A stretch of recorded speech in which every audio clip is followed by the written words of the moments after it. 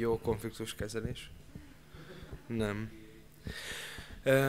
De az az igazság, hogy nagyon szorosan összefügg az én órám a, az Istinek az órájával. Mert a konfliktus kezelés az valójában az, hogyha megtanulsz jól kommunikálni és megbeszélni, megbeszélni dolgokat. De mielőtt belemennénk, nagyon fontos, hogy, hogy megemlítsem, hogy itt ültem, és hallgattam ezeket az órákat, így, így úgy éreztem, hogy jaj, jaj, hagyjátok abba, most már elég volt, tehát én ezt se csinálom, meg azt se, meg ahhoz kedvem sincs. Meg stb. És, és az ember nagyon könnyen érzi magát úgy, hogy már így mindent elrontottam, hogy lehet, és így rá, lehet, hogy ránéztél párodra, hogy ez biztos, hogy, hogy mi együtt vagyunk, de egy nagyon fontos dolog a konfliktus kezelésben, és hagyd kezdjem ebben, hogy azt mondja Zsidók 13.9, hogy nagyon jó dolog, ha kegyelemmel erősítetik meg a szív. És minden egyes házasságban, minden egyes házasságban hihetetlen szükség van arra, hogy kegyelmet adjunk. Hogy kegyelmet adjunk. Mert annyira meg, majd fogok erről is beszélni egy kicsit, hogy annyira meg vannak támadva a keresztény házasságok. Ugye volt erről már szó. A sátánnak fontos dolgok ezek, mert ő megpróbálja tönkretenni azt a képet, amit Isten próbál festeni az emberiségnek, ugye a kapcsolatról az egyházzal, a házasságban. Hihetetlen, olyan támadások érnek bennünket, én azt tapasztaltam, ami, ami így egyébként senki mást nem. Tehát így, néha úgy érzem magam így házasként, hogy, hogy hihetetlen, hogy ez csak velem történik meg. Tehát olyan támadásokban vagyunk, mert a sátán megpróbál mindent. És, és lehet, ez, lehet ez különböző plegykák, feljönnek, gondolatok, emberek, külső emberek, akikre nem is gondoltál. Féltékenység indul el. Tehát olyanok, ami mással lehet, hogy meg se történik. Fontos, hogy legyen kegyelem. Mindig kegyelem fontos dolog, hogy, hogy kegyelemmel erősítessen meg, meg a szív. És ha te így vagy itt, hogy mindent elrontottam, meg semmit nem csináltam eddig azok közül, amit, amit itt hallottam, és hogy mennyire borzasztó vagyok, akkor légy szíves gondolj arra, hogy, hogy akkor menj el úgy, hogy mostantól így máshogy szeretnéd csinálni, és fogadd el, hogy van kegyelem. Van kegyelem arra, ami történt, amit mondtál, amit tettél, arra van kegyelem. Van kegyelem, hogy borzasztó férfi vagy, hogy borzasztó nőnek gondolod magad, van kegyelem rá, ez fontos. És erősítsd meg a szíved ezzel a, ezzel a kegyelemmel, amit Isten ad nekünk. Tehát ez az óra címe, hogy konfliktus kezelés, és általában ez a szó, ez azt sugalja, hogy ha már megvan a baj, akkor, akkor mit kell mit kell csinálni, mit kezdjünk vele, vagy, vagy mondhatnám úgy is, hogy hogyan veszekedjünk jól, hogyan álljunk. Ez is egy jó cím lenne, de én azt gondolom, hogy Isti már elég sokat beszélt erről, hogy hogyan csináljuk ezt, hogyan csináljuk ezt jól. Én inkább arról szeretnék órát tartani nektek a konfliktus kezelés témájában, hogy hogyan kezeljük a konfliktust, mint tényt, amikor még nincsen hogyan gondolkozzunk róla. És azt tapasztalom, hogy ha van egy helyes gondolkozásom, ha van egy helyes gondolkozásod a konfliktusról, mint tényről, mint ami majd jön és megtörténik, akkor sokkal kevesebb és sokkal sekélyebb lesz az egész konfliktus, ami megtörténik. Mert van egy helyes látásod. Ezért arra kérlek benneteket, én nem fogok sokat beszélni, mert itt voltak előttem srácok, akik elég sokat beszéltek, hogy eh, hogy, de nagyon, nagyon figyelj oda, nagyon figyelj oda, komolyan mondom, a házasságot nem fogod itt megtanulni négy óra alatt, vagy öt óra alatt, ezzel mindannyian tisztában vagyunk, de én úgy gondolom, hogyha elrejtitek az igazságot, igazságokat, amiket hallottatok ma, annyit segítenek, és én hiszem, hogy ez a mai óra is a konfliktus kezelésről segíteni fog, amikor jön a konfliktus, hogy ne legyen olyan erős, ne legyen olyan fájó, ne legyen olyan hatalmas, mint amit csinálunk belőle néha. Mert néha vége a konfliktusnak, és az, azon gondolkozik az ember, hogy mi, miről is volt szó, vagy miért is veszekedtünk igazából? Higgyétek el, 14 éve vagyok házas, messze vagyok még a 37-től, 34-től, 37-től, Három gyerek, úgyhogy már megvan a teljes garnitúra plusz egy. Tehát mi, minden megvan, ami, ami létezik. Voltam katona, végig mentünk mindenen, ami, ami volt. Higgyétek el, hogy sokszor az ember így állott, hogy mi, mi is volt. És hogyha valaki mélyen belém nyomta volna ezeket az igazságokat, vagy nem is, nem, adom, nem mondom, hogy más, más a hibás. Ha én megfogtam volna ezeket az igazságokat, és tényleg megjegyzem, akkor könnyebb lett volna az egész. Mert konfliktus az, az mindig lesz. És a konfliktusra nincs egy jó megoldás. Tudod, hogy ha ezt megtanulod, akkor innentől neked már semmi bajod nem lesz soha, mert hihetetlenül különbözőek vagyunk, hihetetlenül különbözőek a konfliktusaink, mindannyian máshogy akarjuk megoldani, ezért nincs egyetlen egy jó válasz hanem alapigasságok vannak, amit szerintem jó, hogyha elrejtünk a, a szívünkbe. Tehát ez már, ezt jó, ha meg, megtanulod, de ez a második dolog a kegyelem után, hogy vedd ezeket az alapelveket, és helyezzed egy olyan helyre, ami jól elérhető a szívedbe vagy a fejedbe, ami gyorsan előhúzható. Én azt is mondanám, hogy nagyon jó, hogyha valaki évente eljön erre a kurzusra vagy megveszed majd ezt a DVD-t, amit ebből csinálnak, és meghallgatod. Én meg fogom csinálni komolyan. Hogy emlékezzek. Mert nem, nem kerüljük el a konfliktust, nem vagyunk hiperszentek, de sokkal könnyebb dolgunk lenne, hogyha ezekre mindig emlékeznénk. Tehát a, nagyon vicces volt, hogy egy ilyen házassági konferencián állok kint, és és jön egy, jön egy pár, a hölgy rángatja, vagy ilyen nem házassági volt, hanem előkészítős konferencia, rángatja a párját, hogy, hogy gyere már, gyere már, miért kell nekem mindig azt hallgatni, hogy, hogy engedelmeskednem kell, hát tudom én azt. És elmentek. Tudod, hogy, hogy lehet, hogy úgy ülsz itt, hogy eh, nekünk ez soha nem lesz meg, nem is tudom, annyira béna ez a Sanyi is már olyan öreg, ő, lehet, hogy ő nála az volt, de nálam nem lesz, mi egy új generáció vagyunk, teljesen máshogy gondolkodunk. Na, hogyha most ezt így gondolod, akkor légy szíves, hogy kapcsolt át a fejedbe, mert ez nem igaz. Olyan nincs, hogy neked nem, hogy te, te majd sokkal jobb leszel, bár lennél, bár nálad ne lennének konfliktusok, de konfliktus az lesz. Kérlek, hogy így vetközzétek le azt a, ha van, hogy hogy nálunk nem lesz, mert mi, mi soha nem veszekedtünk. Hát, amióta együtt vagyunk, én is így voltam, amióta együtt vagyunk, olyan harmónia van. Minden tudunk, mikor ki, együtt veszük a levegőt, amikor ő otthon van, és én is otthon vagyok. Olyan jó minden. Mert ez mindig így kezdődik, természetesen, és próbáltunk itt lehet, hogy úgy ülsz itt, hogy hát hihetetlen, mindenki azt, itt, itt ültem négy órát, és mindenki azt mondta, hogy milyen borzasztó a házasság, és ezt valahogy túl kell élni. De nem igaz, mindannyian próbáltak, aki ugye Isti is és Sanyi is, próbálták megmutatni azt a részét, ami lehet, hogyha nem, ha nem teszed ezeket az igazságokat magadévá. Egyáltalán nem arról van szó, hogy a házasság, ami előtt álltok, az most egy ilyen több tonna, és így, lehet, hogy azt mondod, hát ha ez így van, akkor inkább halljunk meg. De nem, nem ez a cél. A házasság a legjobb dolog a világon. Komolyan mondom. Tehát a Sanyi is ezt mondta, és ugyanezt mondja Isti is, hidd el, hogy ennél jobb nincsen. Hihetetlen, ami eddig nem történt velem ott van egy ember mindig velem, megoszthatok vele mind, mindent, együtt örülünk, meg, meg olyan dolgokat élek meg, amit eddig még soha egyedülállóként. Tehát ezt így kell nézni. Mert ez a házasság. Isten megfogott, és azt mondta, hogy ez így nem jó, mert így már nem tudok benne tovább munkálkodni, és most így fogok. És Isten kihozza belőlünk azt, amik, amik lehetnénk a házasságban. Házasság egy nagyszerű dolog. Megmutattuk, és én is fogok néhány dologról beszélni, hogy igen, el lehet jól rontani. jól el lehet rontani, egy átok lehet. De Isten nem arra tervezte. Isten arra tervezte, hogy még jobban ragyogjunk, még több dolgot csináljunk, mint amit eddig. És ez van. Ez van egy házasságban. Eddig csak ennyi voltam, de most már ennyi vagyok. Hihetetlen, hogy Isten mit el tud végezni egy házasságon keresztül. De Fontos, hogy ne lepjen meg.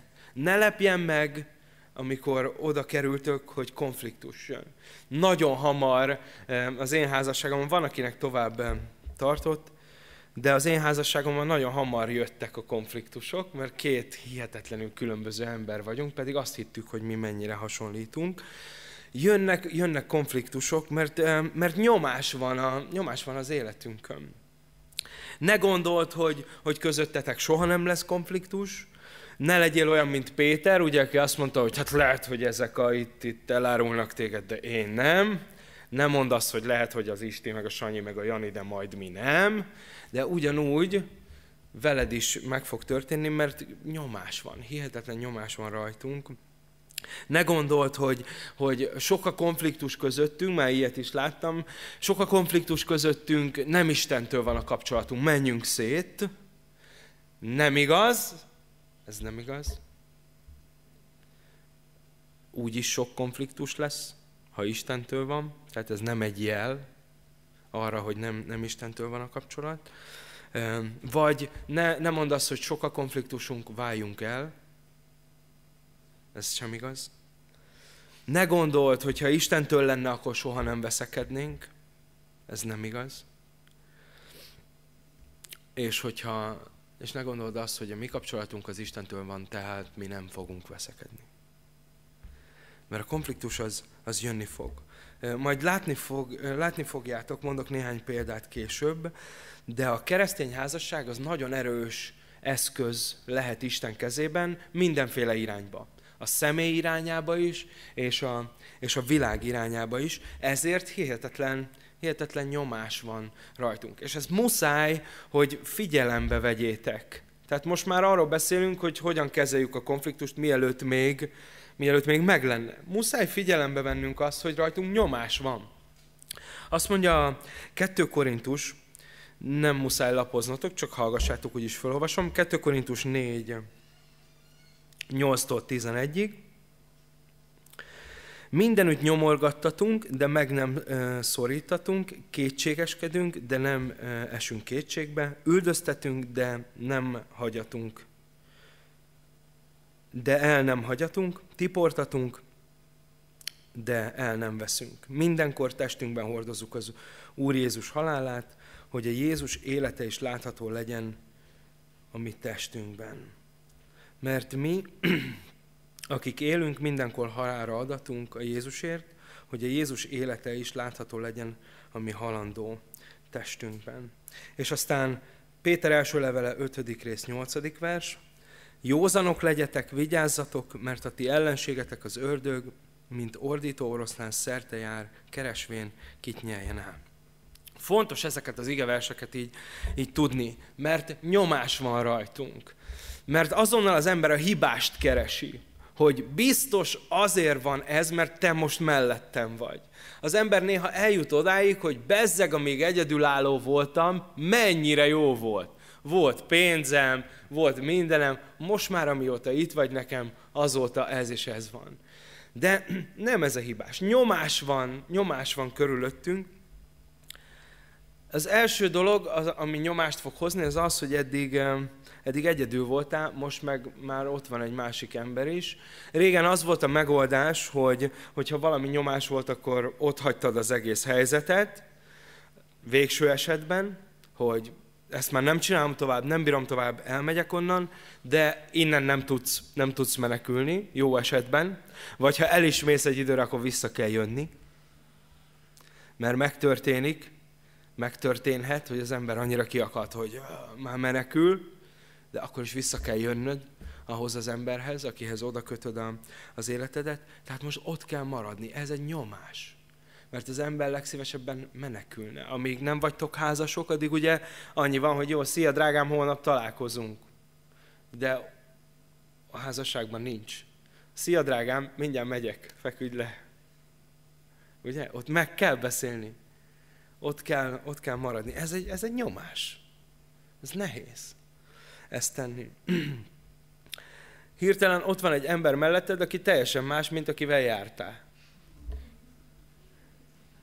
Mi a Katával úgy voltunk, hogy annyi, annyi minden közös volt bennünk, hogy szinte már így úgy voltunk, hogy hát ez lesz a tökély.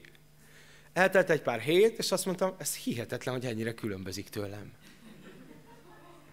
És meg fogod látni te is. Tehát, hogy teljesen már, és higgyétek el. Tehát próbál, vagy próbáljatok hinni nekem, jó? Mert lehet, hogy most azt mondod, én ezt nem hiszem el. Ez tökéletes ez a srác. Hmm. Nem meg fog változni. Csomó különbség van, amit most nem látsz. Ez nehéz, ez egy, ez egy nyomás rajtunk. Szorongatva vagyunk, és ez konfliktust eredményez. Ez az emberben bárhonnan, ha nyomás alatt van, akkor ki, kirobban valam, valamerre. De tudnod kell, ezt tartanunk kell a fejünkbe, hogy, hogy ez egy ok lehet, hogy oké, okay, ez egy új helyzet lesz. Vagy aztán öm, ott van, ugye ki kell, fizetni a, ki kell fizetni a csekkeket, dolgozni kell keményen. Most már nem csak magamról kell, hogyha fiú vagy gondoskodni, hanem a hölgyről is. Aztán, ha gyerekek lesznek, akkor gyerekekről. Tehát, hogy, hogy ott van ez a felelősség, felelősség rajtunk, hogy nem tudom, el kell tartani a házunkat, hogy ki legyen fizetve minden, ahol ugye együtt élünk, a lakást. Aztán van egy, még egy nagyobb nyomás, amit olvastunk Péter levelében, a sátán utálja a házasságot. Nem csak nem szereti, a sátán utálja a házasságot, és mindent meg fog tenni, hogy tönkretegye a házasságot. Gátlástalan. Gátlástalan. Mindenben megpróbál belemászni. Azt mondja róla Péter, hogy ő szerte jár, mint egy üvöltő oroszlán, és azt keres, hogy kit nyeljen el. Ő ismeri a gyengeségeidet, és ott fog jönni ott fog jönni. Undorító módon. Én hallottam olyan, olyan helyzeteket, amikor éppen Greg mesélte, azt hiszem, hogy, eh, hogy, hogy, a, hogy az utolsó héten, mielőtt házasodtak volna, felbukkant a Jenniferrel házasodtak volna, felbukkant a, a régi, régi barátnő. Tök véletlenül. Értitek, hogy gátlástalan. Mindent megpróbál. Ezért is mondtam, hogy annyi kegyelemre van szükség hogy oda tudjál, és azt mond, elhiszem neked, amit mondasz. Elhiszem, mert tudom, hogy a sátán az mindent megpróbál. Mindenhol be fog próbálkozni. És lehet, hogy intim területeken, kísértésekkel. És akkor azt kell mondanunk, hogy igen, tudom, hogy a sátán. Tudom, hogy nem te voltál. Szerintem ez nagyon-nagyon fontos. Tehát akkor ez is egy nyomás rajtunk, hogy, hogy ő mindent megtesz, kísértéseket hoz elénk. Sanyi már említett egy csomót, hadd ne említsem. Emlékeztet majd a régi dolgokra. Ő nem csak kísértéseket hoz, ő nagyon jó abban, hogy, hogy azt mondja neked, hogy emlékszem múltkor is mit csinált. Emlékszel rá, hogy még, még amikor jártatok is már ez volt? És most újra, újra itt van ez? Ő jön, és mindent megtesz. Ez egy nyomás. És mindezek, mindezek a dolgok, amiket említettem, ez csak három terület volt, de ezek a dolgok, amikor így ránk nehezednek, akkor konfliktust fognak, fognak ö, ö, eredményezni. Csak gondold, gondold át, már ott vagy, ketten vagytok, nem egy. Nem oda rakod a dolgaidat, ahova akarod, mert ő is valahova szeretné. Egy nagyon apró dolgot mondok, mert ő is valahova szeretné rakni. Akkor itt ez már egy, már egy konfliktus. Akkor én például, nem mondom most magammal, de mondjuk a Sanyival példálozom. A Sanyi, Sanyi nagyon szereti, hogyha mond valamit, akkor azonnal, azonnal megcsinálják. Lehet, hogy Zsuzsi nem ilyen volt. Ez már egy konfliktus. Eddig egyedül a Sanyi el volt, mert mondta magának, hogy mit kell csinálni, és megcsinálta. Ugye? És ők úgy egymással úgy békébe voltak. De most már ott van egy ember vele, egyébként azért mondtam a Sanyit, mert ugyanígy vagyok én is, Sanyi. Tehát ugyanez, ugyanez van nekem is. De most már ott van ki, ez konfliktust, vagy tényleg, hogyha ott van rajtunk, hogy nem bírjuk kifizetni, hogyan fogjuk kifizetni, mi lesz, az, az néha kirobban egy rossz irányban. Néha, néha azt, azon veszem észre magam, hogy azért van a konfliktus, mert én nem voltam képes lenyugodni az anyagi dolgainkba. Én vagyok a felelős, és mivel nem raktam ezt rendbe, ezért ez rámegy valamire, és semmi nem tetszik onnantól kezdve. Onnan jön a konfliktus. Vagy, vagy akár ez a, sátán kísértései. Jönnek ezek a kísértések, ha nincs rendbe rakva, nincs megbeszélve, ez vala, valami felé ki fog törni. És akkor megint, megint konfliktust fog eredményezni. Tudjátok, csak azért, mert keresztények vagyunk, nem fog minket elkerülni a konfliktus. Ne gondold azt, hogy hát mi keresztények vagyunk, mi majd máshogy, máshogy reagálunk. Ugyanazok a hatások érnek minket, és ugyanúgy is reagálunk, mert húsból vagyunk, emberből vagyunk. Ez a test még nincs megváltva, tehát ez reagálni fog, és általában úgy reagál, hogy próbálja a saját igazát megtartani egy kapcsolatban kapcsolatban is, próbálja a saját módján megoldani a, a helyzetet, ami általában különbözik a másikétől, és ebből megint egy konfliktus eh, jön.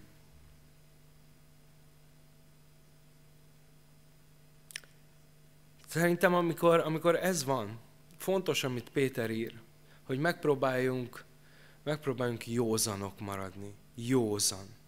És józannak maradni, az szerintem nem azt jelenti, hogy, hogy tökéletes vagy, hogy, hogy most megpróbálom bemutatni, hogy jaj, én már látom, hogy ebből konfliktus lesz, józan maradok. Nem, ez nem, nem fog sikerülni. Józannak maradni szerintem az, amit Dávid mond, a, a, Zsoltáraiban sokszor, hogy, hogy miért csüggetsz el én lelkem? Miért háborogsz bennem? Tehát ez már feltételez egy helyzetet, hogy már háborog benne hogy, hogy már ott a helyzet, hogy már, már kimondtam azokat a dolgokat, de józannak maradni az, hogy ó, ó, ó, ó, hoppá, ez nem jó, ez a hely. Emlékezzünk csak, gondolkozzunk, mi történt ma? Miért, miért haragszom én igazán? Mi ennek igazán az oka? Ez, ez józannak maradni szerintem. Hogy belerakni a fejünkbe, hogy oké, okay, konfliktus az lesz, Rendben van. Nem kell egyből azt gondolni, hogy ez az egész a sátántól van, mert konfliktusaink vannak. Nem kell azt gondolni, hogy a másik a sátán, mert konfliktusaink vannak. Mert sokszor azt gondolja az ember, hogy ő a gonosz, de nem a társad a gonosz.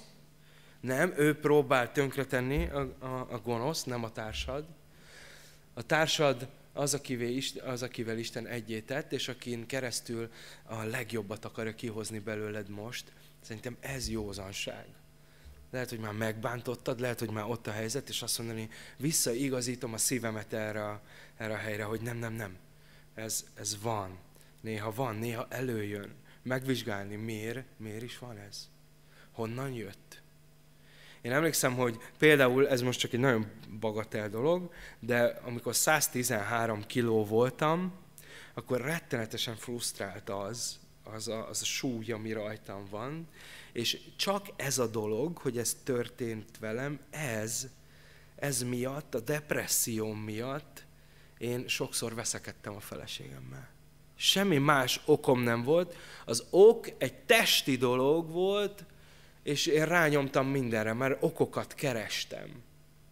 És azt vettem észre, hogy sokszor ezért veszekszem vele. Egyébként semmi más okom nem volt. Hogy látjátok, szerintem ez józannak maradni. Ha ezt elcsípet, hogy nem, nem, miért is csinálom én ezt?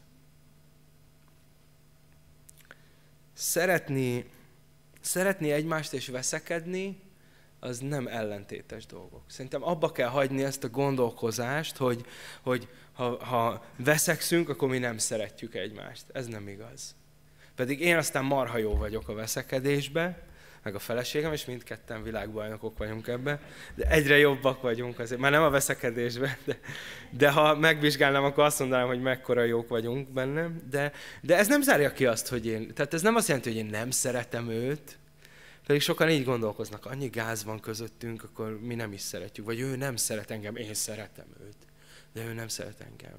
De nem, nem a konfliktus a baj, hanem a kezelés a baj. Avval semmi probléma nincs, hogy lesznek nehézségek, lesznek veszekedések, lesznek konfliktusok a, a házasságotokban.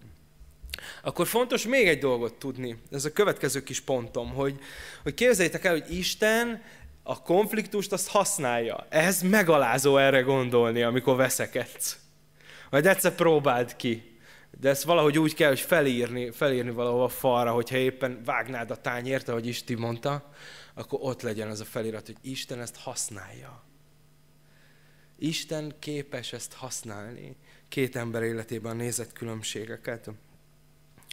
Mi, mi amikor a, a feleségemmel összejöttünk, úgy gondoltuk, hogy milyen sok közös van bennünk, aztán eltelt egy idő, azt mondtuk, hogy rettenetes, hogy mennyire különbözünk, és aztán jött egy idő, amikor arra gondoltunk, hogy lehet, hogy Isten tévedett velünk kapcsolatban, hogy annyi különbség van köztünk, hogy, hogy Isten, Isten miért csinálta ezt így? Sőt, volt olyan pont, amikor a feleségem mesélte nekem, hogy már párnáját verte, és sírt, valami konfliktusunk volt, pont én beszélek róla mi, és sírt, és azt mondta, hogy Isten miért engedted ezt az egészet, te tudtad, hogy ez lesz.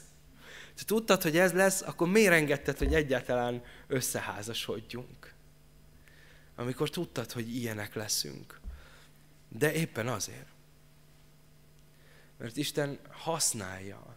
Isten használja a konfliktusokat, használja a nézetkülönbségeket, hogy, hogy valami gyönyörűt hozzon létre bennem, bennünk és a világ felé. Isten használja ezt, és azóta megalázó erre gondolni, majd remélem, hogy egy idő után ti is meg, megtapasztaljátok majd ezt, hogy veszeked, veszekedtek, és akkor erre gondolni, hogy Isten használja ezt. Tudod, ez nem fog arra vinni téged, hogy na, akkor veszekedjünk keményebben, hogy Isten még jobban használhassa. Nem inkább megaláz, hogy ó, oh, oh, nem akarok így eszköz lenni, nem akarom, nem akarom ezt. Szerintem ez, ez egy fontos dolog. Isten alkotta a házasságot, ez 1 Mózes 2.18 már föl lett olvasva, hogy látta Isten, hogy az úgy, egyedül az úgy nem jó. És ez, ne, ez nekem tetszik, hogy, hogy, hogy így egyedül lenned, ez nem jó. Hogy, hogy Isten ránézett Ádámra, és azt mondja, ha ez így marad, akkor ez nem jó. Nem azt mondja, hogy hát kibekkelhetné így egyedül a majmokkal, nem, azt mondja, az úgy nem maradhat. És eh, sokszor, sokszor emberek, amikor nehéz a házasságuk, gondol, gondolnak arra, hogy, gondolnak arra, hogy bár egyedül maradtam, le, akkor, maradtam volna, akkor jobb lett volna, de tudnod kell abból a versből, hogy nem. Mert Isten azért adta melléd azt, aki ott van, mert nem volt jó úgy. Azt mondta, ez így nem jó. Béna. Kell neked valaki, hogy, hogy én kihozhassak belőled mindent. Hogy odaadhassam minden áldásomat, amit, amit én oda akarok neked adni. Ezért ez így nem jó. Ezért alkotok neked egy hozzád illő segítőtársat, akin keresztül majd én kihozom belőled azt, ami igazán benned van. Tehát fontos ezt a fejünkbe, fejünkbe tartani, hogy Isten a konfliktusokat használja. Mert ő nem hiába tette azt az embert mellénk, aki mellettünk van. Isten a házasságunkon keresztül meg tudja mutatni a, meg tudja mutatni a világnak, hogy milyen az, egy, ugye az egyház és Krisztus kapcsolatában, egyház és Krisztus kapcsolatát. Vagy a gyereknevelésünkben, ahogy, ahogy neveljük, nevelitek majd a gyerekeiteket, az atya a gyermekeivel. Tehát Isten igenis munkálkodik, sőt, személyesen Isten munkálkodik bennünk. Azt gondoltam, amíg nem voltam házas, hogy egy elég jó ember vagyok. És aztán rájöttem, hogy nem. Isten hogy mutatta meg? Ha én úgy maradok, Isten nem mutatja meg. De így megmutatta nekem. Hogy, és így azóta még jobb ember lettem, úgy gondolom. Nem azt mondom, hogy én vagyok a király, de, de Isten így munkálkodik, így munkálkodik tovább. Isten számára nagyon értékes a, a házasság. A, a párod az nem csak egy, egy húsdarab, aki azért van veled, hogy legális lehessen a szex. Szerintem ez fontos tudni. Hanem Isten tökéletes, gyönyörű eszköze a te számodra. És amikor őt melléd rakta, akkor benne volt a csomagban, hogy konfliktus lesz. Mert Isten a konfliktust használja arra, hogy, hogy elkészítsen minket azokra a dolgokra, amikkel, amikkel ő meg akar minket áldani. Isten tehát nem tévedett. És erre emlékezzél majd akkor, amikor a konfliktus lesz. Isten nem tévedett, ő az. Ő soha nem téved. Direkt azért ő van melletted, mert ő a legjobb eszköz arra, hogy az legyél, akinek lenned kell. Példabeszédek 27-17, ha jegyzetelsz, akkor felírhatod. Azt mondja, miképpen egyik vassal a másikat élesítik, aképpen az ember élesíti az ő barátjának orcáját. Ez az, ami, ez nekem nagyon tetszik, biztos már fentetek késsel kést. Az élesedik? Az élesedik. És egy elképzeltem azt az egészet, én nagyon szeretek főzni egyébként, úgyhogy én sokszor gondolkozom ezen az élesen. De hogy elképzeltem ezt, mind a két eszköz karcolódik keményen, annak hangja van, igaz? De, de mire készül? Arra a célra tökéletes legyen, amire használni fogod. Milyen érdekes ez? Isten ezt csinálja velünk, meg fenn minket egymáson, így, így használ, hogy arra a célra, amire te az életedbe el vagy hívva, arra tökéletes tökéletes legyél. Legközelebb gondolkozz ezen, amikor a pároddal összevesztek. Vagy Phil mondott az elmúlt ilyen alkalom egy nagyon jó, nagyon jó példát, hogy, a, hogy az ócskavas, ami kint van a lomtalanításkor, az értéktelen, igaz?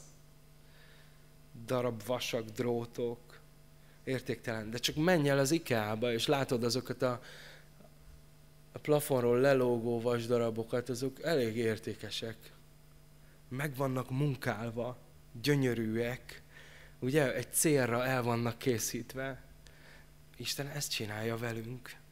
Értéket ad a házasságnak, értéket ad a házasságban az embernek. És ez hogy történik? Úgy, hogy megmunkálja. Avval az emberrel fogja munkálni, aki melletted van. Aztán eh, Zakariás 13.9.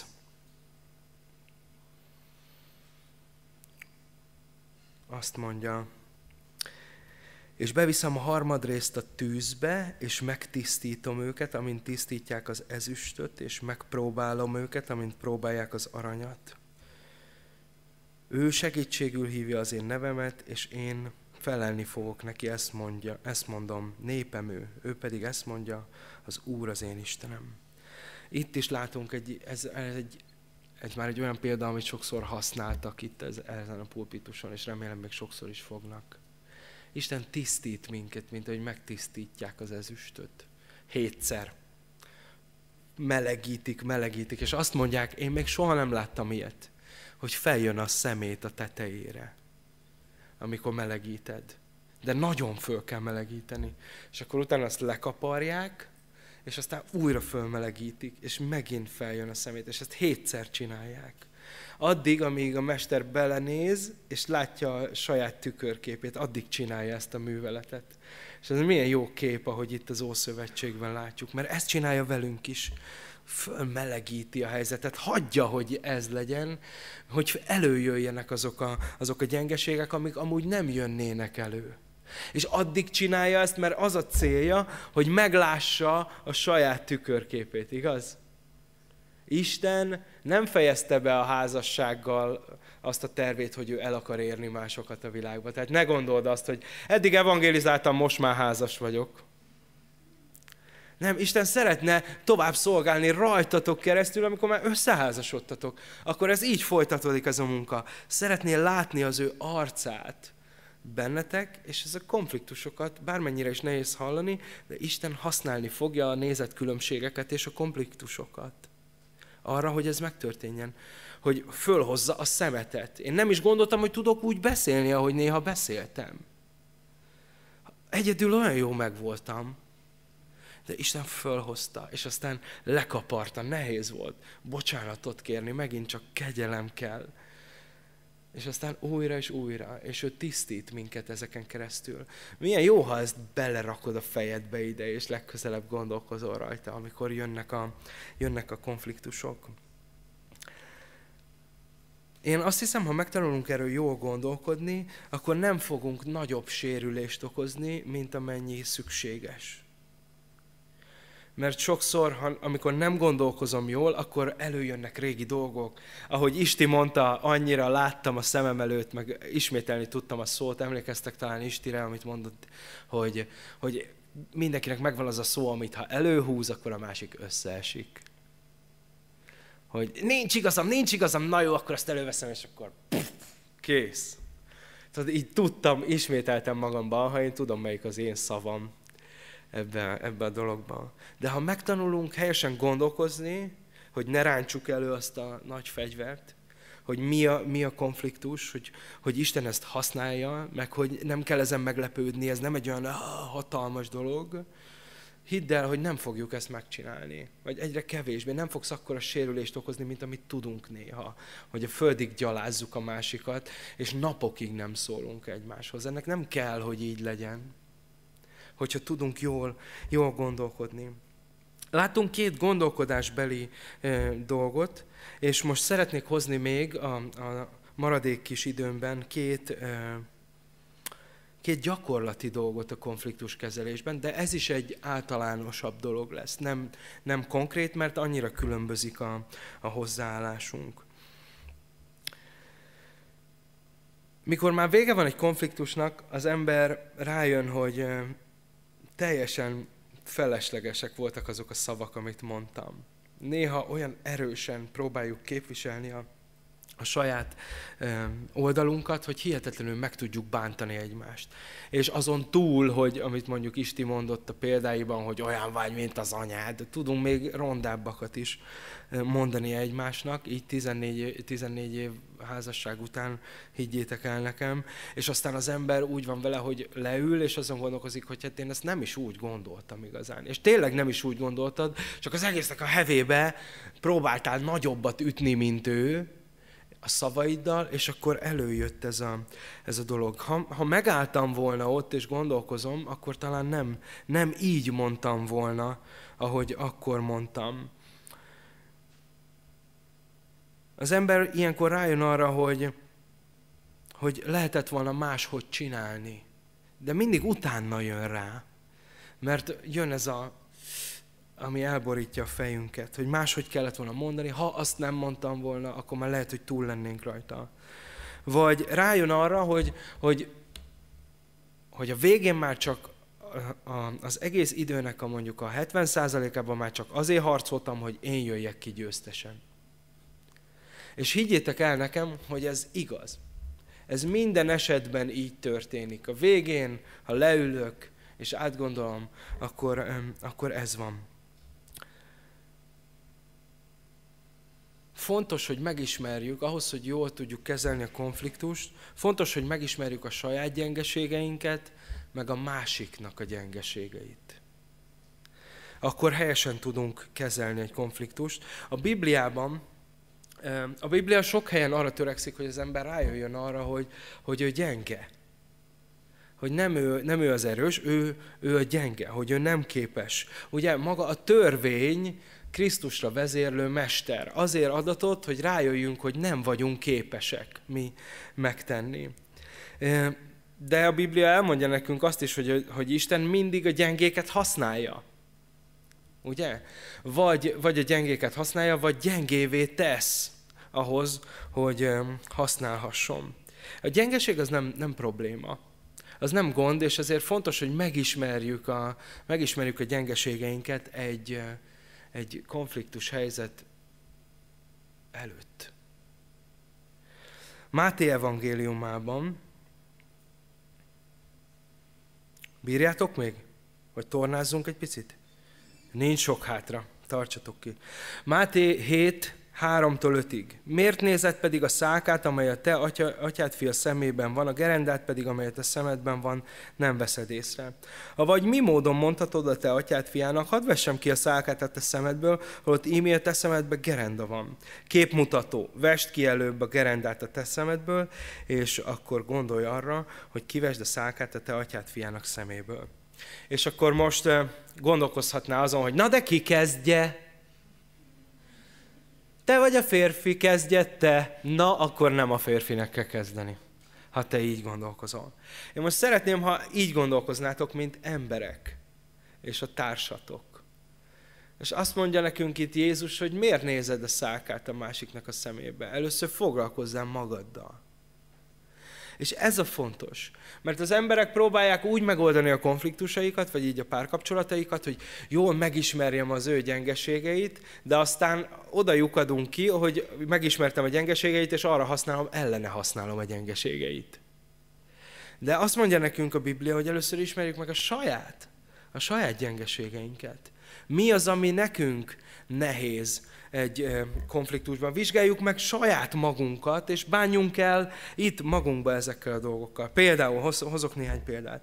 Mik azok a dolgok, tedd föl ezt a kérdést így magadban, mik azok a mondatok, amik ha elhangzanak, te arra fölrobbansz. Ami csak elég, ha egyszer mondja, és vége. Vége mindennek. Biztos van ilyen. Ha van, akkor tudatosan készíthetem magam arra, hogyha ezt használja, akkor legyen egy lámpa. Pi, pi, pi, pi, nem, nem, nem. Ne menj tovább. Készítsd magad, ne, ne érjen meglepetésként. Ismerd meg a saját gyengeségeidet. Hogy, hogy ez neked nehéz. Vannak, akik, amikor egy ilyen mondat elhangzik, akkor bezárnak. Azonnal. Na jó, itt most abba hagytam. Nem tudom, hogy ti hogy vagytok vele. Talán ismerős ez a helyzet. Na jó, most, most itt vége van. És és elmegy. De hogy, ha te ilyen vagy, ne, ne zárj be. Erre készülhetünk. Mik a gyengeségeink?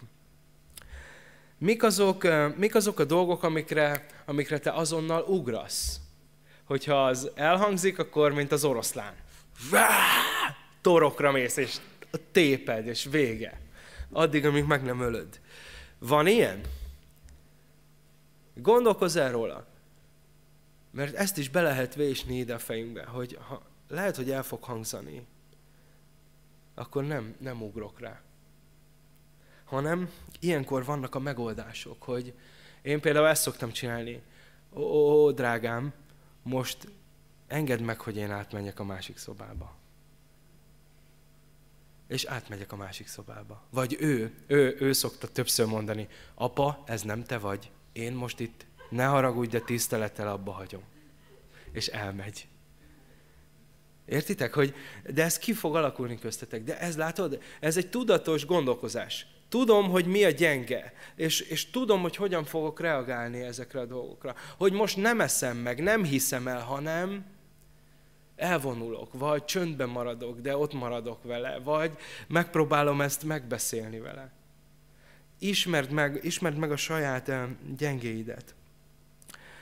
Én, én hajlamos vagyok, nekem az egy gyengém, én hajlamos vagyok egy idő után minden mást belekeverni a konfliktusba, csak azért, hogy én győzzek. Tehát ez a, erről beszéltünk, ugye, van egy téma, amiről összeveszünk, de én már, a, én már mindent hozok. Ja, és múltkor sem mosogattál el, és semmi köze a kutyához mondjuk ennek az egészhez, hogyha a kutyáról veszekszünk, de én már ott vagyok a mosásnál, meg a minden csak pakolom rá, hogy nyomja agyon, hogy én győzzek, és a végén ott, ott álljak. Nekem ez egy gyengeségem. Nekem figyelmeztetnem kell magamat, hogy nem, nem térek el a tárgytól. Mert akkor abból nagyobb baj lesz, mint ami, mint ami kellene, hogy legyen.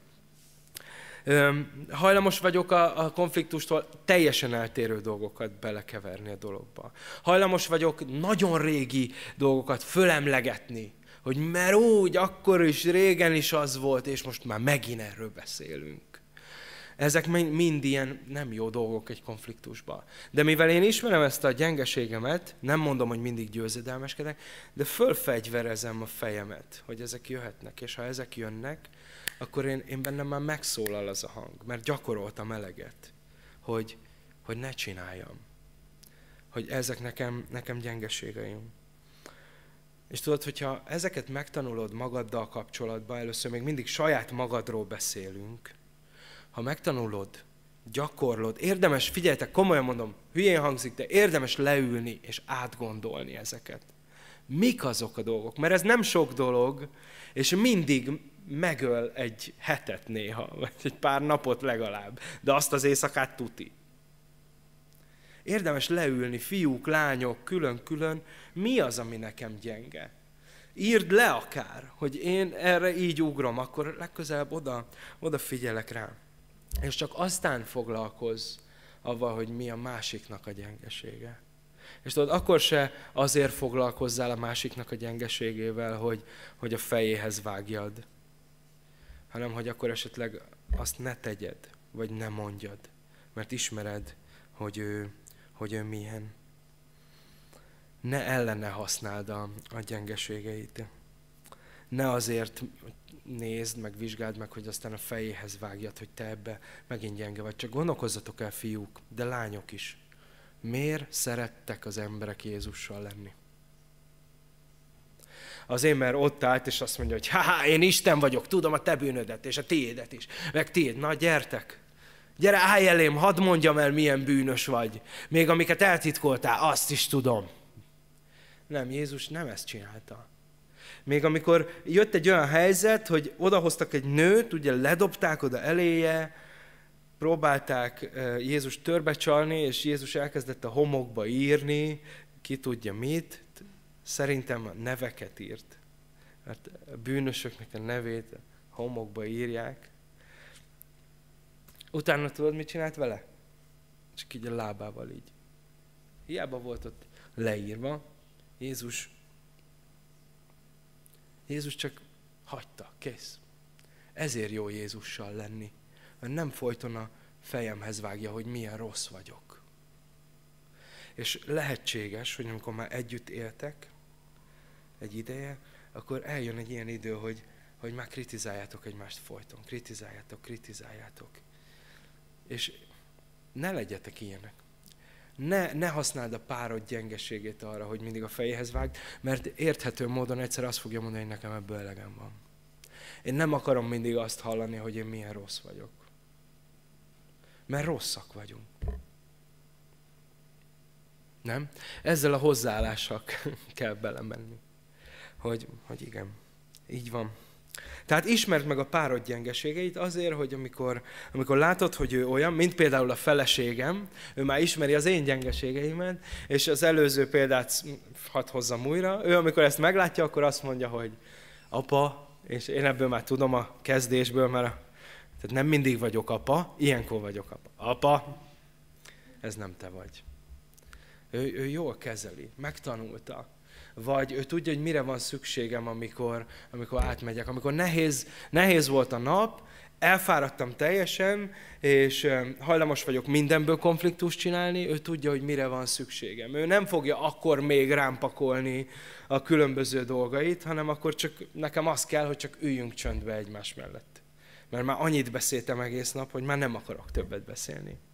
Értitek ezt? Hogy, hogy megismerte a gyengeségemet, és tudja, hogy ha ő most még ezt csinálná, akkor elindulna a konfliktus. Tehát a második dolog, hogy ismerd meg a párodat. És az utolsó téma, és aztán én be is fejezem, mert már elmúlt három óra, ugye, és fél négyig be akarok fejezni. A konfliktus megoldás az, az nem, nem az Efézus 5.22. Most azon gondolkoztok, hogy mi az az Efézus 5.22. Az, hogy a feleségek engedelmeskedjenek a férjüknek, kész, ez a konfliktus megoldás. Minden konfliktusunk elmúlik, ha ez így lesz. Nem, nem, a konfliktus megoldás az nem a 22. vers, hanem a 21. vers. Ami meg azt mondja, hogy engedelmeskedjetek egymásnak Krisztus félelmében. Ez a legfontosabb dolog hogy legyen engedelmességünk. Aztán az 1 Korintus 7.4-ben van egy nagyon fontos alapelv, amit Pál elmond, hogy a férj nem ura a saját testének, Figyelj, a férj nem ura a saját testének, hanem a feleség. De a feleség sem ura a saját testének, hanem a férj. És ő ott ezt a, a szex témában mondja, de nézd ezt, a, nézd ezt a gyönyörű megoldatlanságot. Hogy mi a dolgunk? Mi a dolgunk a párkapcsolatban, hogy könnyebben tudjuk kezelni a konfliktust? Úgy, hogy az, hogy úgy gondoljunk magunkra, hogy nem a magam ura vagyok, hanem az övé vagyok hanem az övé vagyok. És aztán lehet, hogy feljön a kérdés, hogy, hogy akkor ki, ki, kinek a kie, és hogy most ki mit fog vezetni, akkor mi a helyzet? És én, és én ezen gondolkoztam, hogy na, ezt hogy rakjuk bele a képbe jól.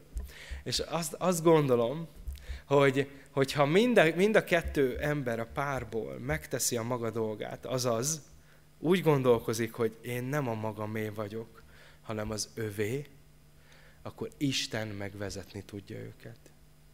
És akkor föláll a rend. amit Sanyi tanított. Hogy a férfi vezetni fog, a nő megkövetni fogja.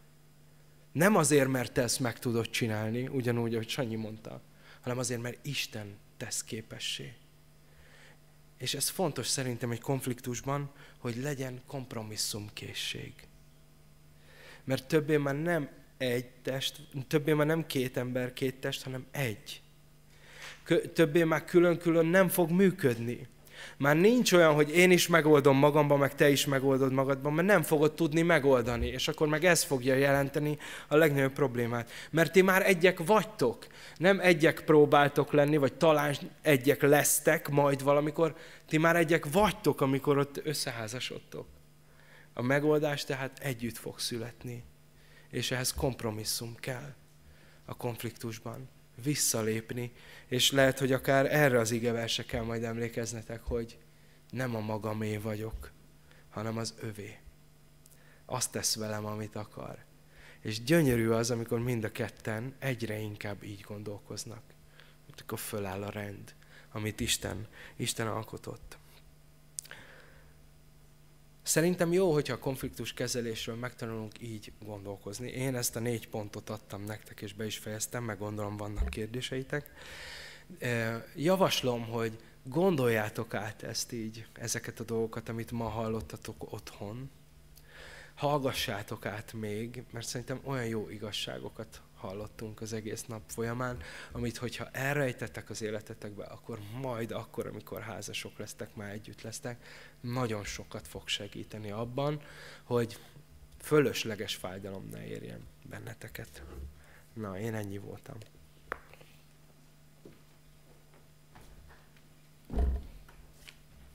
Köszi.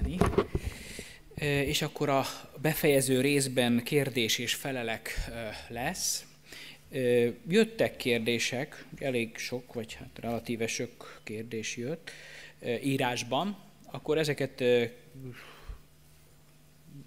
elkezdjük, aztán közben természetesen ti is tehettek fel kérdéseket.